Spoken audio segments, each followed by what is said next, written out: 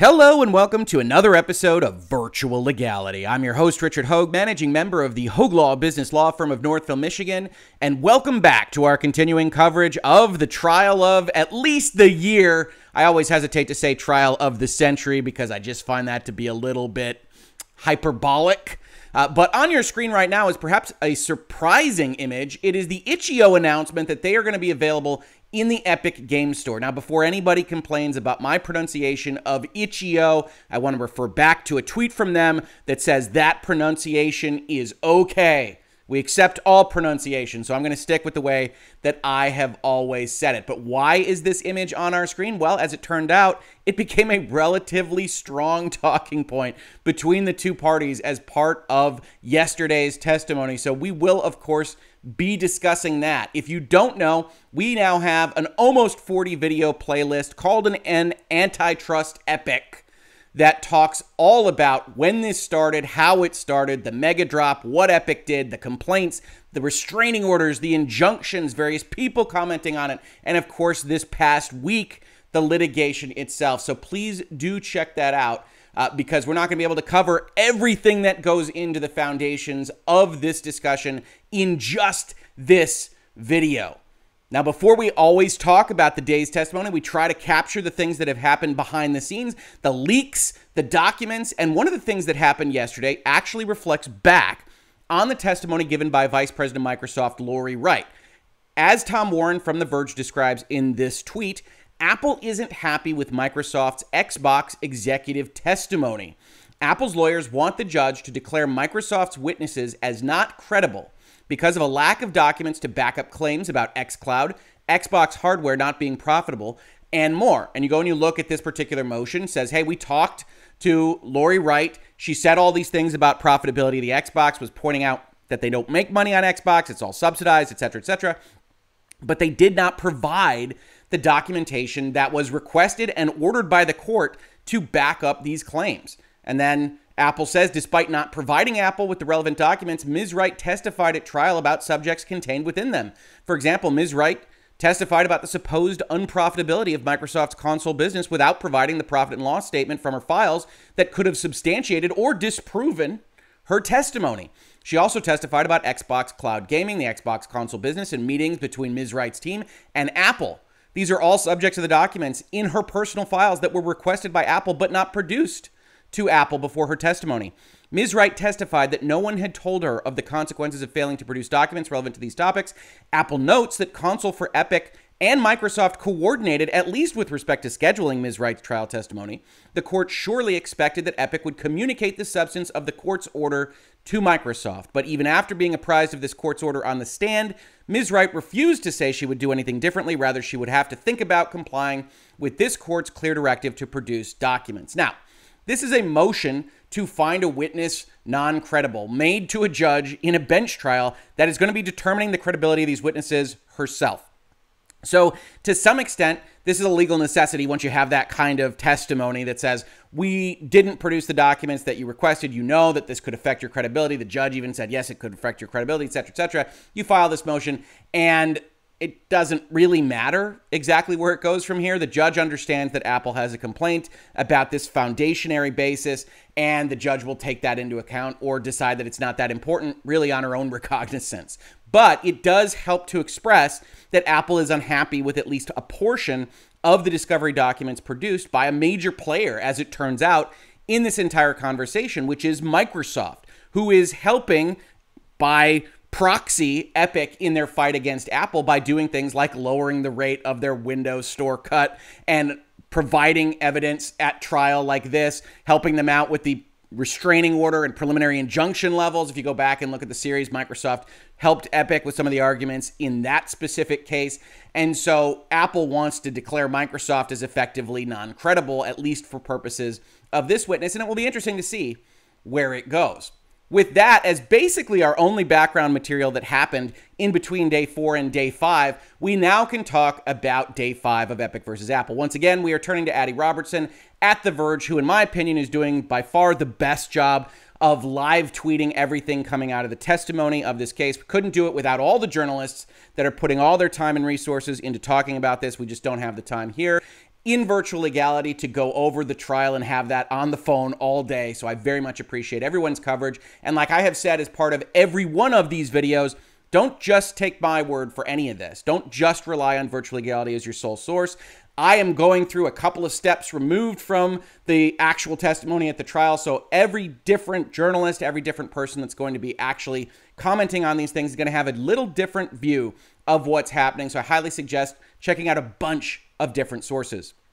With that said, Ms. Robertson says today we've got more testimony from Trystan Kosmynka, Apple marketing VP. So that's an Apple witness. We were talking with him a little bit at part of the end of last video, followed by Epic's Steven Allison and Matthew Weissinger. Now, we're actually not going to get to the Weissinger testimony because the court really doesn't get to the Weissinger testimony. He starts at about 45 minutes left in the day, gets through his introduction, what he is. He will be popping back on our video screens when we are talking about day six of the trial. But believe me when I say Kosmynka and Allison had enough to say to maybe fill two videos. So we're going to try to do it as quickly and efficiently as possible. So where do we start?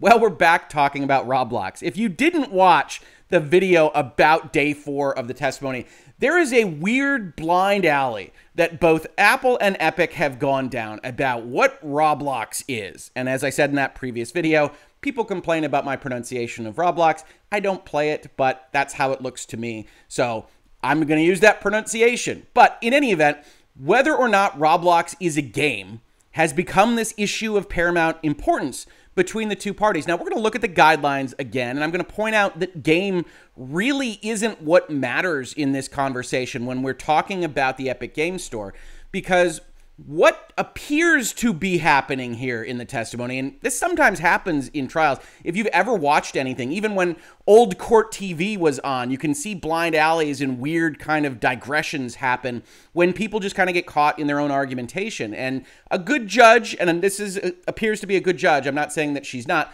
will try to steer things back. And I think she has been doing that uh, to some extent. But what we've got right now is Epic Game Store trying to prove that Apple treats like things differently, right? That it treats like apps differently. If, for instance, Apple thinks it will be more competitive with Apple's offerings, it might reject it or make it difficult for that app to join the App Store in a way that it wouldn't do if something weren't competitive with Apple. That's Epic's thesis.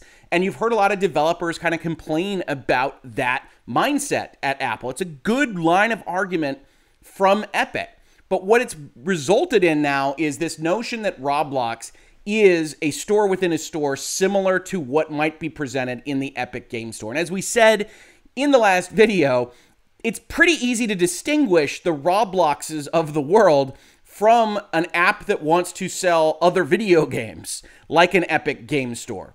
And I think that the parties have missed that by getting into this really long digression about what is a game. I think Roblox is probably best thought of as a game. If the two categories are game and application, where application is intended to hit things like financing and Excel spreadsheet uh, documents and apps or weather apps and things that don't have a game component to it, Roblox is closer to the game end of the spectrum than it is to the application end of the spectrum.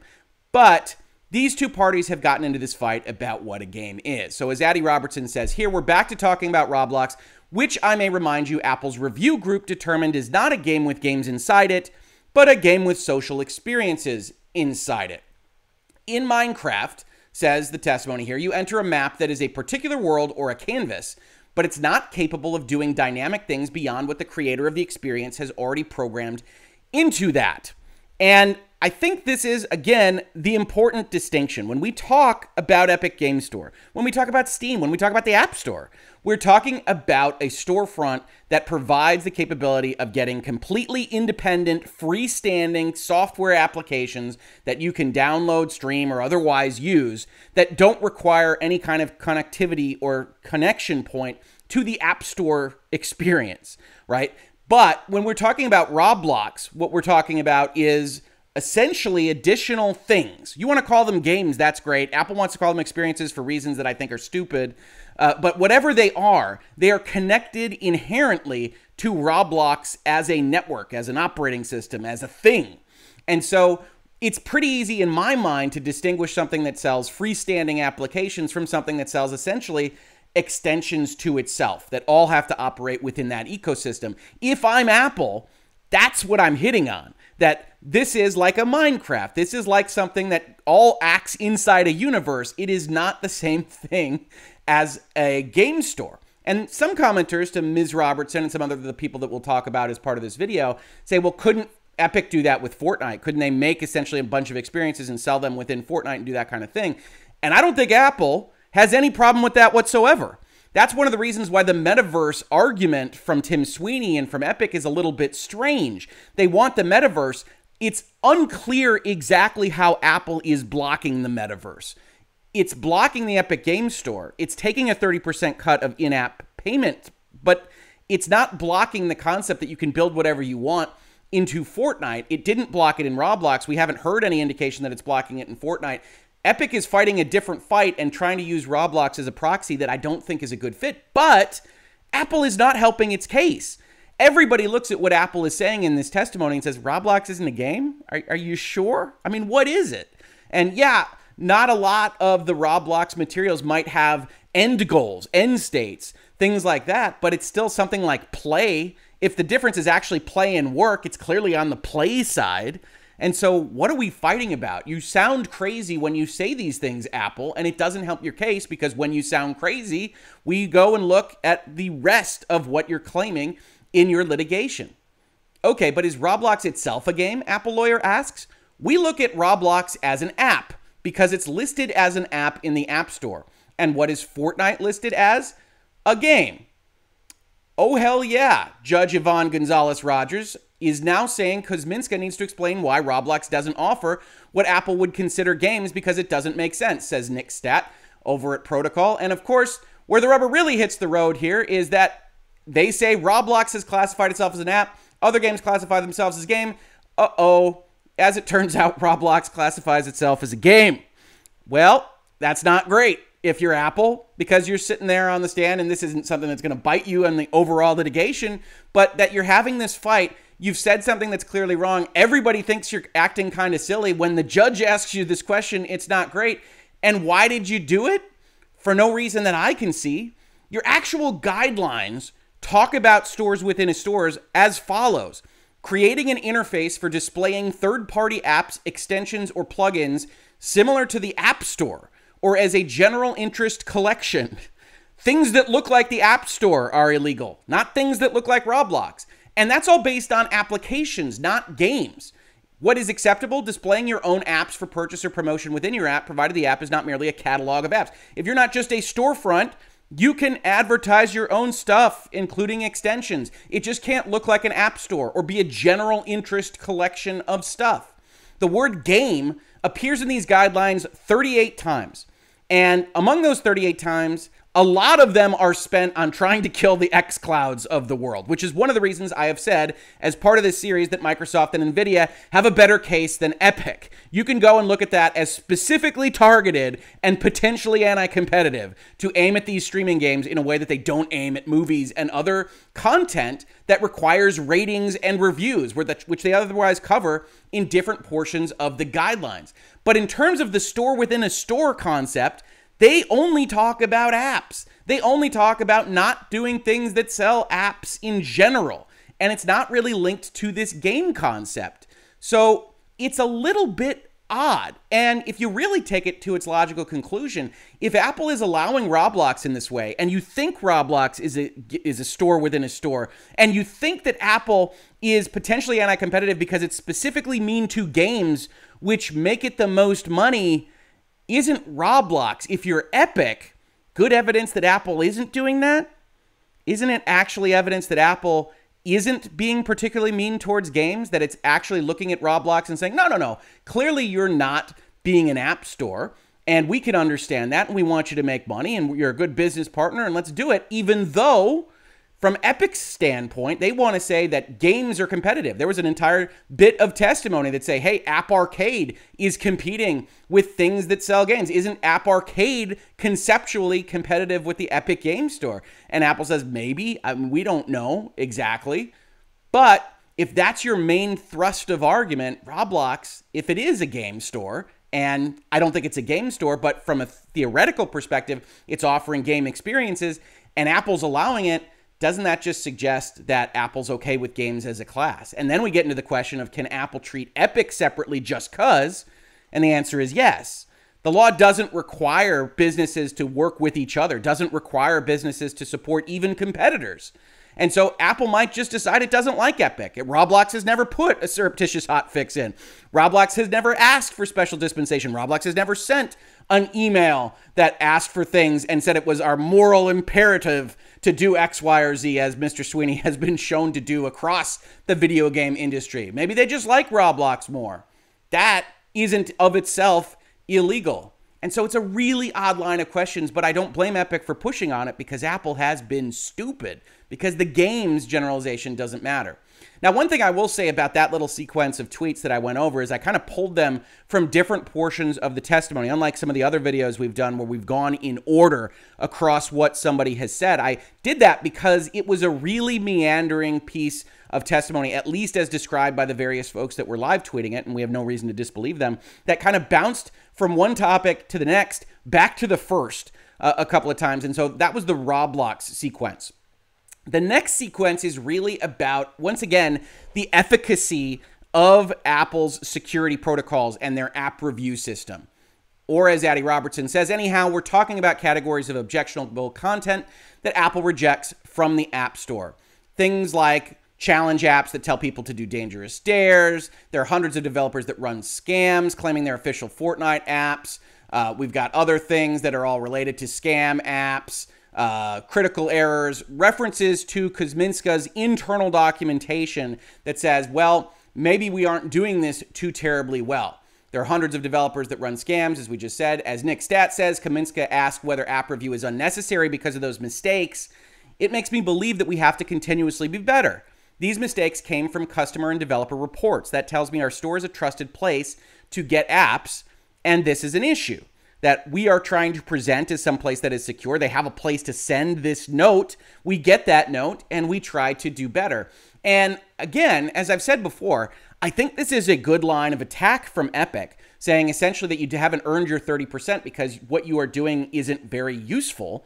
But it also is defendable by Apple because there doesn't have to be perfection in what they are attempting to achieve in order for it to be a reasonable business decision. Which, again, since we are unlikely to wind up in the judge ruling on this as a per se violation of antitrust law, just by law, just by its very existence, we wind up discussing what is reasonable for the party that is engaged in these activities. And that's after we establish that they are a monopolist in and of themselves, which is, of course, a difficult hurdle to climb just in this case alone. But once we get to that point, once we are talking about a monopolist restraining trade, doing these bad things, Apple can still defend itself by saying we have a business reason to try to offer a secure environment. We don't have to be perfect at it. We're human beings, but we are trying, we are putting those resources to work. And that is something that we should be allowed to do. We should be allowed to review apps that come onto our store to determine whether or not they are secure. And if we fail at it, that's on us. That doesn't look good. And people can take their business elsewhere. And we're going to try to continually earn that business. Okay, we are continuing to go over apps that are not good, including one that is not safe for work, a concept defined in court as something you would not want your employer to see. Unless you're on a moderation team, I guess, in which case it is literally your job. Now, there's a very critical line of questioning from the judge about whether Apple's lack of competition on iOS for app stores stifles innovation in app review. Kosmynka says Apple looks at Android and other app stores to see how they approach scams, frauds, and takedowns. And this is one of those interesting areas that the def- definition of the relevant market is entirely dependent upon. Does Apple actually have to go and look at what other folks are doing with respect to keeping their app store safe? If they are, if they feel they have to, then there is likely a competitive market of some kind. And the argument has always been, at least before Epic brought its case here, that Apple's competitive market is on phones in general, on people selling different devices. Why would you buy an iPhone? Why would you buy an iPad? Well, it's super secure and it's got an Apple on the back, which I'm sure some of the commenters will say is why folks buy Apple products. They really like that brand recognition, but that there's a reason to buy it and that we're competing with other hardware manufacturers in the space in which we are selling our hardware and our operating system at a software level is a part of that. So, yes, it's a critical line of questioning from the judge. It is ultimately dependent on whether she finds a market in only the operating system access. Because if Apple is a monopolist of its operating system, then there really shouldn't be outward pressure to do much of anything. They have 100% access rights over their own hardware, and you wouldn't have this external competition. If there is, and this is what Kosmynka is testifying to here, then it is suggestive of a belief in Apple having a competing market of some sort, which has been historically the way we have looked at hardware purveyors and the software that helps run them. Now, historically isn't very long in the age of the law, so that's why we have a novel case like this one that could absolutely set precedent for the future and that we can't predict with a high level of granularity. Epic's lawyer is back redirecting to Mac OS, pointing out that people can directly download apps from outside Apple stores there, but it's still considered safe for kids, etc. I think there's safety on Mac that's superior when downloading from the App Store. The threats that we see on iOS, even within the App Store, I can't say that a user outside the Mac App Store has a safe and trusted experience. Says they're taking additional risks. Says operating systems across the board with Apple work really hard to keep people safe, but that the curated element still provides really critical safety elements. Again, this is Apple's marketing right? And you don't have to believe it. They try to put reports up that say it's a more safe and secure environment. I think a lot of people do. And it might turn out that that Sweeney testimony about using an iPhone because of, among other things, as he says, privacy and security concerns could come back and be a big factor in the ultimate decision. It's hard to say. But that Apple believes that the curation approach is useful. Clearly, a certain amount of customers believe that the curation approach is useful. And then, from a legal perspective, the question is should the law say that it's not? Should the law say you have to include X, Y, or Z, other store, other apps? And that's what Epic's asking for. So it's interesting. And I think we just have the same kind of discussion uh, for the rest of those tweets. Now, that testimony is done. Kosmynka leaves the stand, and Steve Allison of Epic is called to the stand. He's the vice president and general manager of the Epic Game Store. And he gives a lot of testimony about the background of video games, about work at GameStop, all these various other things. And you get some really interesting quotes that I've included here primarily for their amusement factor, including the judge notes that you could go to GameStop during that period, but asks more about the reason for PC game retail collapsing. Was that also because the PC couldn't handle the amount of power required for these games? Safe to say, Judge Rogers does not know any vocal PC gamers. I just like that. And some of you might come in and say, oh, does this judge know anything? Blah, blah, blah, blah, blah. I will say this you do not know what you don't ask questions about. If you're a lawyer, or maybe if you're just walking through life and you're curious about something, I understand that somehow you think the question might make you sound like an idiot, and some people may think this question makes the judge sound like an idiot, but she didn't know, and so she asked the question. And you know what? That's useful. She now knows a little bit more about the power of PC and that the PC is the stronger platform, but that Steam came in and digital distribution came in and PC retail died. And that is a function of digital stores operating in the environment. In exchange for joining Epic Game Store, Epic would promise devs a recoupable guarantee where they'd promise a minimum payout based on estimated sales. We got some numbers related to this from the trial documents. And these were very interesting. This is from some of the documents that were out there earlier. I'm not going to go over every one except to point out that this is how a company would think about spending money on those exclusives that it was buying for its store and giving away as free games, right? Epic Game Store, free games, Subnautica, Super Meat Boy, What Remains of Edith Finch, Jackbox, Axiom Verge, etc., etc. And you can see exactly what they were tracking here. The date that it went out, the number of people that downloaded it, that's your entitlements, the amount of money they spent on getting those free games, and the new Epic accounts that arose from them, and then dividing the dollar amount spent on the buyout from the new Epic accounts to arrive at a user acquisition cost, as well as tracking what was new to Epic. And so you see, there are winners and losers. When you talk about a big company making decisions, they use the best of the information available to them. They use analytics and data to try to establish a baseline for what they should pay, and then the market answers the question.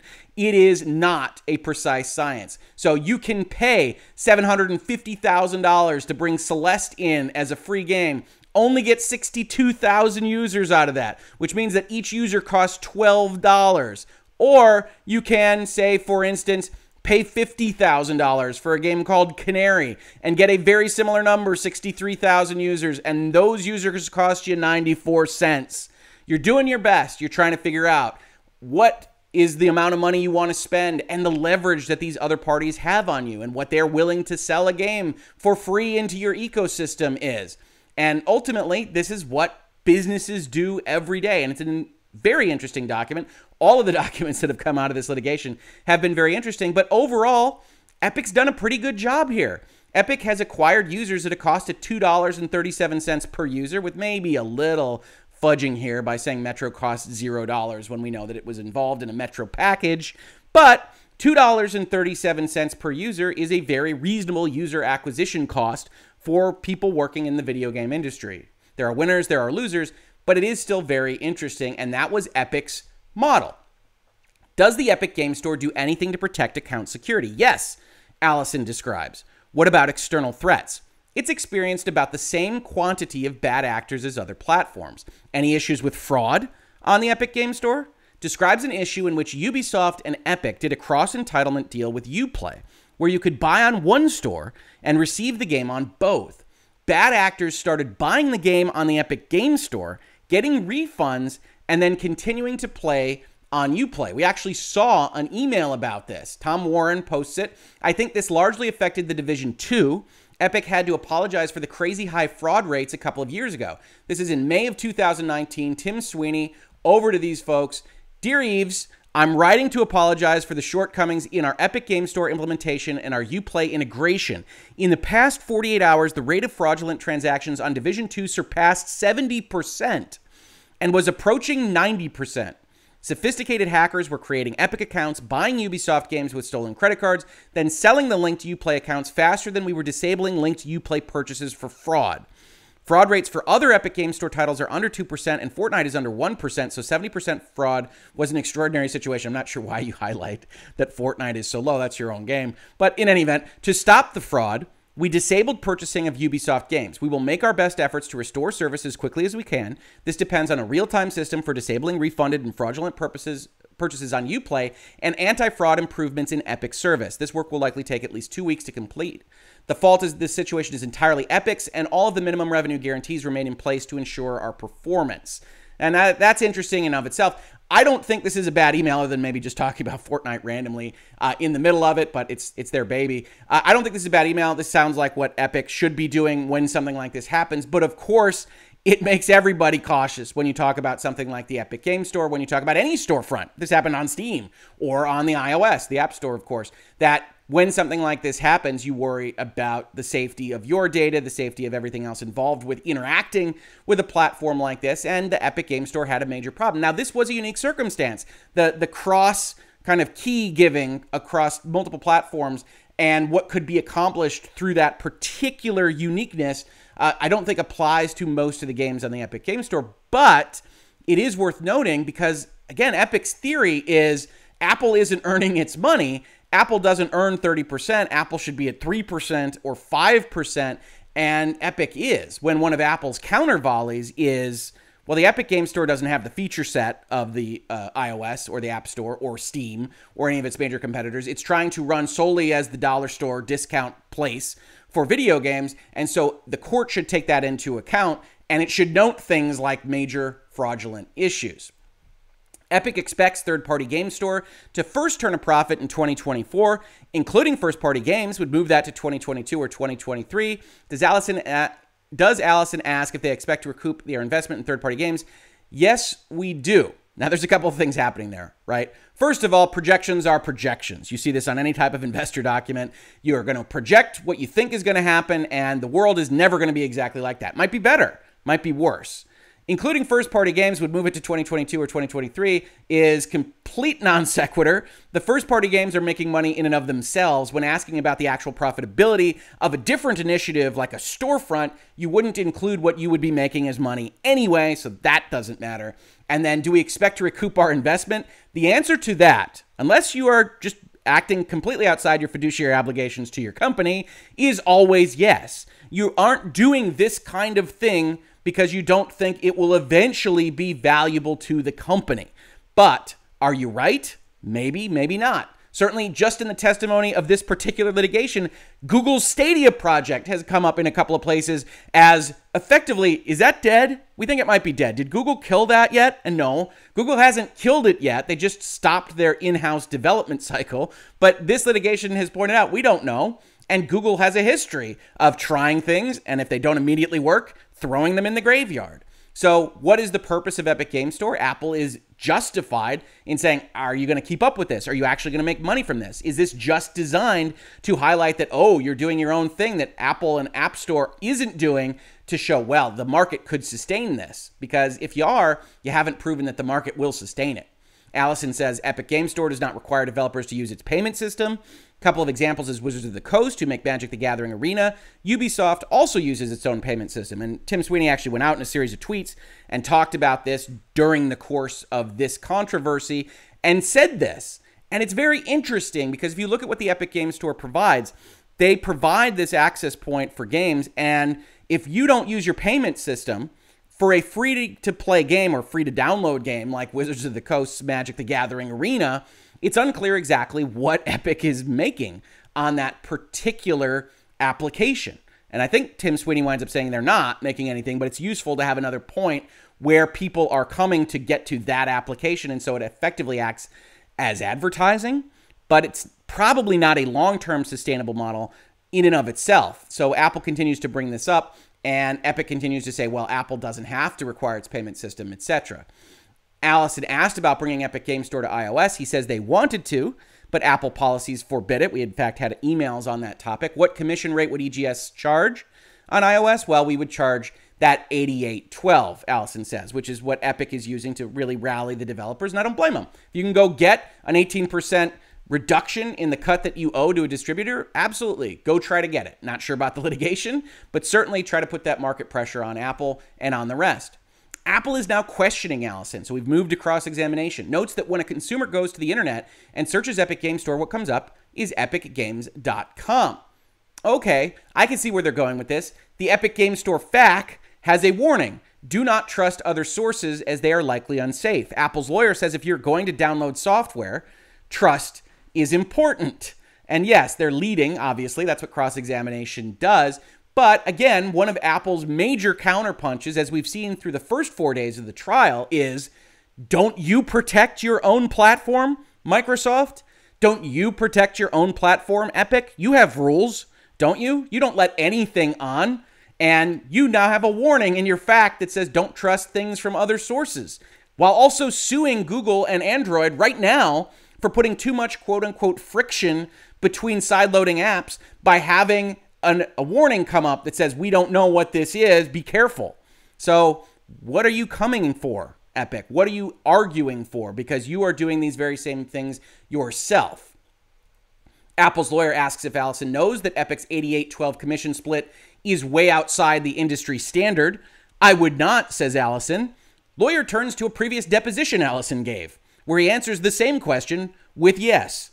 Fine, Allison says. It's a pretty good moment if you're a lawyer. If you got somebody exactly opposite on one of their previous depositions, then that always feels good uh, when you're talking about uh, hitting witnesses on cross examination. But in this particular case, he tries to walk it back a little bit.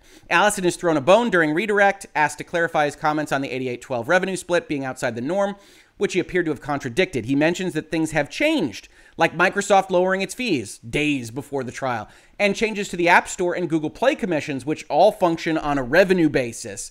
So 30% is still the standard, and I don't think anybody is confused about that. It's the standard across all the video game consoles. It's the standard at Steam, even though they have their own revenue adjustments as well. 12% is nobody's standard, except for now Microsoft who hasn't at all proven the viability of that number because they just announced it, I think, three days before this trial started, seemingly in an effort to give Epic the ability to answer something in this fashion, talking about Microsoft lowering its fees. Again, Microsoft seems invested in trying to see if it can help Epic win. Why? Because they're a software company. And if they could break down some walled gardens, even if it cost them their Xbox walled garden, they are probably willing to do it because they could sell software into additional markets and might even be in a better position to leverage their size and resources uh, than Epic itself is, which might create an interesting situation where Epic to win this fight. Now we get into why the thumbnail is what the thumbnail is. Ooh, now the Apple lawyer is going after the fact that itch.io has porn games on it, despite Epic rejecting sexual games on the Epic Games Store. Now, what is happening here? So, what is itch.io? itch.io is a separate platform for largely independent, very, very small games. Has hundreds of thousands of these things. If you haven't checked it out, it's got some really weird stuff and some really interesting stuff. But what did they announce? They announced that as of this morning, the itch desktop client is available to download on the Epic Games Store, which is odd. And they say that in the next sentence. If you prefer to launch your game launchers through other game launchers, then this is perfect for you, right? Why would you want to go to itch.io through Epic Game Store? Unclear. This is the same client that we have hosted on our site, so you don't need to re download or change anything. Why did we do this? They reached out to us a few months back about how they were exploring adding apps to their store. We thought it was a funny idea, but also a good opportunity to potentially expose a lot more people to itch.io as the Epic Game Store has a pretty large audience. And then technically it's going to be the same. Do I need to do anything? Nope. This is just a new place for people to discover and download our app. Nothing about how developers or players access itch.io is changing. Now, there's a couple of things happening here, and we're going to look at the testimony because The Verge found this interesting enough that they actually transcribed the testimony in this particular case. But one of the things that's interesting here is note what itch.io says about why they would join a store.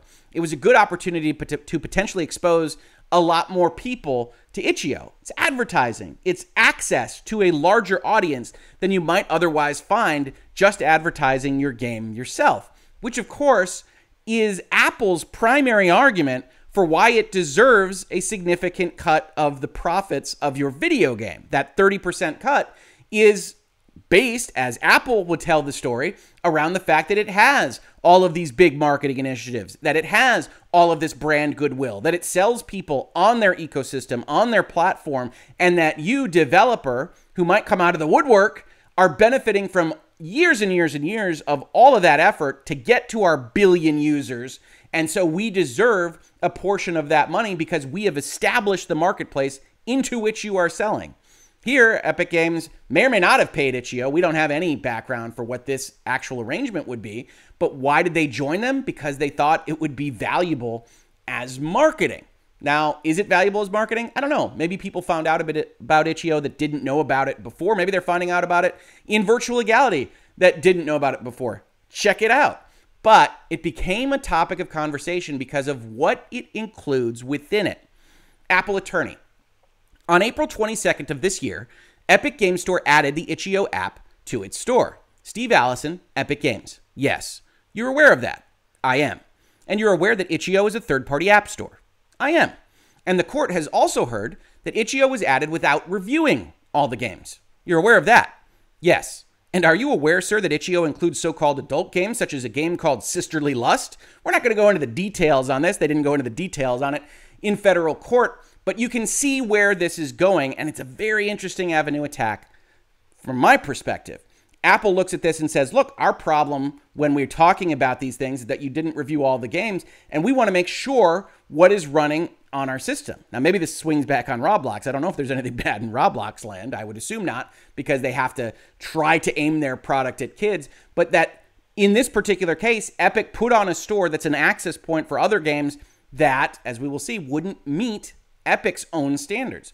You may not be aware then, but the description of that game includes a list of fetishes, which include many words that are not appropriate for us to speak in federal courts. Are you aware of that? You know, there's a number of words I'm saying in this video that I didn't think I would say in virtual legality. Here we are. I am not. And the list goes on. There are many games on itch.io. I won't even read the names out loud, but they are both offensive and sexualized. You are not aware of that? itch.io is an app store that is not the Epic Game Store. Itch is distributing itch.io games. Epic is only distributing the App Store itch.io. And itch.io is now available as an app on the Epic Game Store, correct? Yes. And those apps on itch.io have not gone through any review process whatsoever, correct? They are subject to whatever process itch.io puts in front of their devices. Right. So Epic Games, you're sure, is on the hook for whatever process itch.io puts in place to review these games that are so offensive we cannot speak about them here. Correct? I disagree with that statement. And undoubtedly, the disagreement here is on the hook for, right? What is Epic responsible for? What is Epic in charge of when it links to something that effectively goes outside of its bounds? This might be one of the reasons that you also see those warnings when you're on a Steam forum or somewhere else that says you're about to leave our page. We're no longer responsible for what you're doing. And maybe Epic should put something like that when you use the itch.io app. I don't know.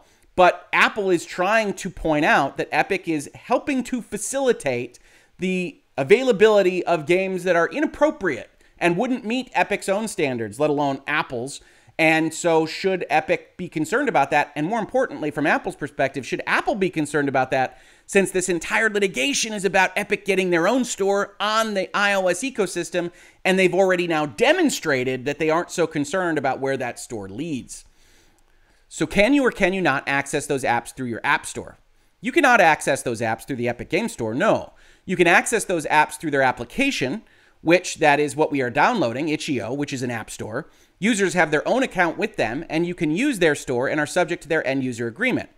So if I have a phone and your app store was on that phone, that other store could be downloaded, which has all of this offensive material, and that's Judge Rogers, so you know she's interjecting here.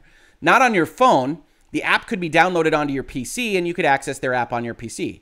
But that's what you want to do on a phone too. That's what I understand. I.e., that's what you're suing about, correct? I don't know that we would do that with itch.io on a phone, but you're doing it now, so I could access it on my PC, right? Yes. And this lawsuit's about your ability to do it on your phone, right? Yes. And just so we're clear, back to the attorneys, you can go to Epic Game Store, click itch.io, and download the offensive games. Are you aware of that? Allison again. You can go to the Epic Game Store launcher and you can launch itch.io, which takes you out of the Epic Game Store and launches their application. You are then subject to their user agreement and you are in the itch.io ecosystem. And the attorney comes back. You said to the court just a second ago that you wouldn't want to do that with itch.io. You wouldn't want to put itch.io on the phone. I, I don't know that we would or we wouldn't. I don't even know that it's available as a mobile application. Because the reason that you said that to the court is because you're recognizing that this is offensive and sexualized conduct that can be accessed. I disagree with that statement. Now that you know there are offensive and sexualized apps on itch.io as the head of the Epic Game Store, do you plan to do anything about that? I don't have an answer for you. I will dig in when we get back, but I don't have an answer for you. I'm not sure. These apps were on itch.io and not the Epic Game Store. Well, Epic has been advertising putting these apps in the store. Mr. Sweeney put up a tweet about itch.io. Again, Mr. Sweeney's tweets, constant story. And now you seem to be distancing yourself from itch.io because you realize there are apps in there that you have not reviewed and cannot stand by. Well, I disagree with what you're saying. Itch.io is an incredible community for developers that we support fully. They have an open platform and therefore have different moderation standards than the Epic Game Store. I was just wondering, sir, if you support fully the offensive and sexualized content that is available there when people go to the Epic Game Store and download Itch.io. Allison, I don't support sexualized content of any sort. I suppose Allison's relationships hardest hit. In any event, you've got this line of questioning that is very, very interesting. That okay, Epic Games has put on this other store through their store. So now, if this were to go on sight unseen onto the Apple Store, you've got not only a store within a store, but a store within a store within a store. We're getting into Christopher Nolan levels of layers upon layers here. And Apple is rightly pointing out look, we don't want anything to do with that content. Epic has already demonstrated that they aren't reviewing that content and didn't care to put it as a contact point with their store. And so we at Apple are trying to establish that we don't want third parties making this decision for us. Now, is that a winner? I don't know. It's a little bit attenuated, right? Epic has a very good argument. We, we're not putting those games on the Epic Game Store. We're putting an itch.io access point on the Epic Game Store. It would be the same as putting a web browser on the PlayStation. The PlayStation doesn't support everything that you might be able to access on your web browser, does it? And so Epic might have a good argument here. Apple has a pretty good argument as well. And it's one of those things which I do think will be looked at in a certain way if you already think that Epic is somewhat deceptive or perhaps lax in their security and other policies, which is one of the things that Apple's trying to establish, right? Project Liberty, very deceptive. Their security standards are like, look at all the fraud with Ubisoft. Look, they just accepted itch.io. They didn't review all these games. We want to review the games, and this is kind of a sidebar note to the Microsofts and Nvidias of the world. We want to review these games because we don't know what you're putting on there. We don't know what people are accessing through our phone, and we're concerned about it, ostensibly. You don't have to believe them. And so they bring up this claim, and I do think it's an interesting one. Latest from the Itch.io press room, never missing a beat on marketing. We are renaming our sensitive content filter to unspeakable games. You got to respect it. You got to respect the marketing poll and paying attention to a federal litigation at that level. Of course, if your company is mentioned in it, you probably are paying more attention than you otherwise would be. And we're finishing off here with the final couple of comments. Apple's lawyers say that it's apples to oranges to compare an app store's fees with that of a credit card company. I feel like there's a better way to say apples to oranges when you're actually representing the company Apple, but it is what it is. That's important because Epic CEO Tim Sweeney has cited the low Visa MasterCard fees as what would be fair for the App Store and Google Play. And you've heard me say it now maybe a dozen times that that was always a ridiculous assertion. That the judge almost immediately said, What are you talking about? at the preliminary temporary restraining order level, even before getting into the injunction motions. Said, uh, I'm pretty sure they're not just a credit card payment processor, and you appear to be asking them to get 0%, and that doesn't feel right either that actually saying it should be 3 or 5% might hold more water if Epic were only charging 3 or 5%. But instead, Epic comes out and says, no, we do some stuff for that 12%. Okay, maybe you should be arguing for the 12% then. Certainly it is apples to oranges. Apple clearly, clearly performs more functions than a simple Stripe or Visa slash MasterCard situation. And so Epic was all, always pushing too hard on that particular note. Maybe Maybe it'll work out for them. Maybe they push too hard to get any kind of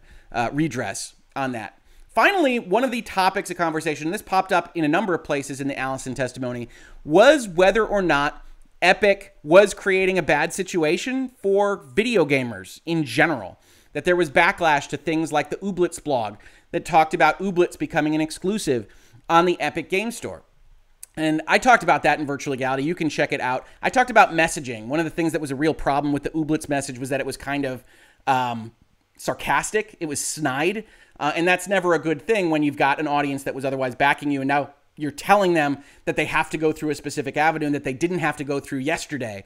And you're being snide about it. I never thought that was a good idea. I think it was a bad idea. But I got to be honest with you. We've talked through a lot of legal issues here about Epic versus Apple. I'm not entirely certain what direction Apple is coming from on this. Yes, uh, Epic's taken some heat for making exclusives. Yes, you can kind of frame that as a similar situation to wanting to keep a walled garden, uh, but it's not. It's not an identical situation. And what the impact of the people is to that is of limited legal import. So I think at best, this is primarily, again, trying to shade Epic as a bad actor shade Epic is a little bit naughty in the industry, a little bit of a wild card. A lot of these documents coming out, the emails, the lines of questioning about Tim Sweeney, about Epic, are trying to paint this company as a rogue nation, as somebody that's willing to do anything, break up all this stuff, and doesn't care who it hurts. That you've got gaming community coming out and making all these complaints because this isn't the way that PC gaming has operated. That making it exclusive to your store is as anti-competitive as anything that you're arguing about uh, here in court. And that's not true. Uh, again, I'm not siding with Apple here. Uh, Epic is allowed to go sign exclusives, is allowed to spend marketing dollars on bringing their games into their store. You don't have to love it, just like you don't have to love Sony charging for crossplay or any of Apple's ridiculously long set of guidelines, many of which don't help the user and the consumer at all. You don't have to like any of those things to think that they are legal. And I think there have been a number of good attacks that Apple has made that have shaded Epic in a negative direction. And I think those are effective in certain parts. I don't think this is one of them.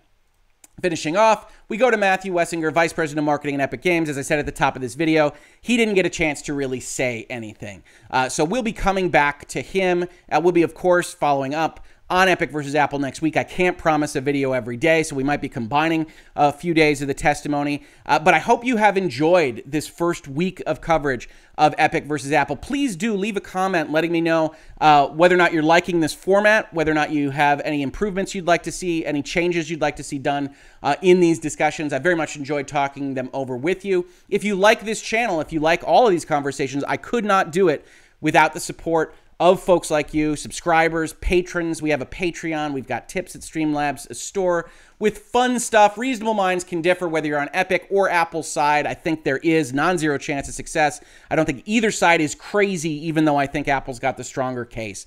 Otherwise, if you just subscribe, ring that bell, upvotes, downvotes, leave comments, tell folks that we're here. Tell your friends we're having these conversations. Every single little bit helps get the notions of virtual legality and hopefully a little bit more information, education, and entertainment out there on this very, very important case and subject matter. If you caught this on YouTube, thank you so much for watching. And if you listen to it as a podcast, thank you so much for listening. And I will catch you on the very next episode of Virtual Legality. Virtual Legality is a YouTube video series with audio podcast versions presented as commentary and for education and entertainment purposes only. It does not constitute legal advice and does not create an attorney client relationship. If you have legal questions about the topics discussed, please consult your own legal counsel.